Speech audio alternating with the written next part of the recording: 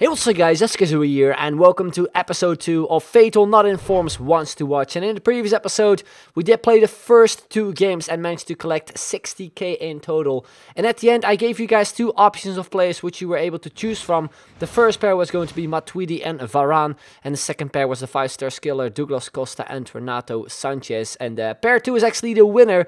So that means we're going to be adding those two players in the squad and you can see right there uh, we do lack a little bit of chemistry especially on the left hand side and in the middle. But uh, hopefully it shouldn't affect the next two games. So uh, without further ado, we're going to go. It will be the first game of the episode. Go up against a uh, sort of a Russian league, league uh, looking side, and also some Liga Portuguesa players actually. And uh, we started things off in the fourth minute. This was actually a really laggy game. I think it was against a subscriber as well, as he tweeted me after the game. And uh, after four minutes. We did pick up a penalty after some great stuff from Di Maria, some great skill moves. And as I said before, it was a laggy game. You can see a little bit from the gameplay too. So I was just really, really happy to get that penalty, especially at the start of the game. But unfortunately enough, I completely gave away it. We hit the post and um, yeah, what I thought was going to be a fantastic start ended up being not so great start. Even though we did create a lot of chances at the start of the game here, also with our striker Bifouma. A great save there from his goalkeeper too. Then we move on in the 25th minute. It is uh, Di Maria once again on the right hand side. This time we cut in with a a spin. I tried to go for a shot. We pick it up here with Douglas Costa. Then he turns around, shoots through the defender's legs. And also at the same time through the goalkeeper's legs. And it actually went in this time. A really sloppy goal I felt because I think the goalkeeper should have saved that one near post as well and um, yeah it went in. So uh, we do take the lead in the game and uh, the first half was mainly for us as I said before create a bunch of chances but we just couldn't finish it off mainly because of the lag.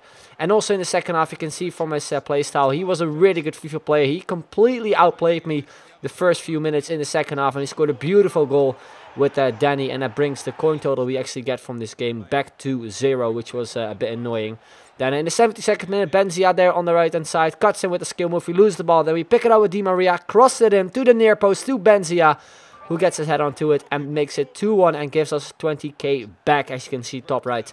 Uh, then we play a through ball here to Douglas Costa on the left hand side. I was thinking, should I cross it in or should I go with skill moves? I crossed it in to Bifouma, striker, and we get another heading goal.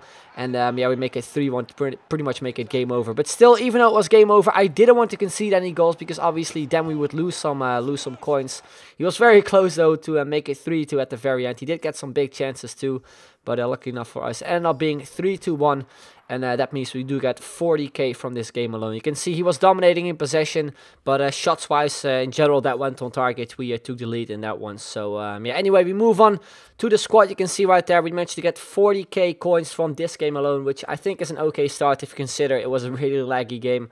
Uh, then moving in what will be the second game, and we come against a lot less stronger team, a lot of bronze players, so I thought this was going to be an easy game, which is a thought you should never go into a game and yeah, you can see right there, this is why I said it, because he just scored a random long shot, like, what the hell, with his center attacking forward, which was a 62 rated Korean bronze player, like, from just a random Danish club. I was so surprised that it actually went in. So, um, yeah, after 10 minutes, I was thinking, should I go with skill moves again? I kind of tried to mix it up a bit. But you can see I just went full sprinting here with Di Maria and I went with a nice finish shot into the back of the net, making it 1-1. You can see from the playstyle that I play in F8TAL, some, like I try to do skill moves, but sometimes I just have to like play a bit more sweaty in order to uh, to get enough goals and actually make a decent team because obviously that's the aim in this whole series. So um, yeah don't blame me because I want to make like a good team as well for the knockout stages.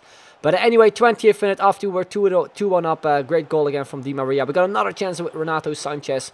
Unfortunately not really the greatest header. Then we're moving into the second half. It's him on the ball here with Park. Again that center attacking forward. Waits a little bit to play it on through to his right hand side player Camper Goes for the shot near post. And again, the goalkeeper was looking terrible there. I was really, really thinking of like upgrading him. But obviously, I, I don't really know how many coins I was able to get from this game. So um, yeah, I just wanted to score as many goals as possible. And we hit the post here well. Got very unlucky. Then uh, in the 70th minute, uh, Douglas Costa here on the left-hand side was thinking, should I cross it in? Should I go with skill? Was cross it in. Another good save there from his goalkeeper. It was ridiculous. Like, he saved so many chances of us. We also got very unlucky with hitting the post, which was just annoying. But here again, a great save from him. And it was just so frustrating to score.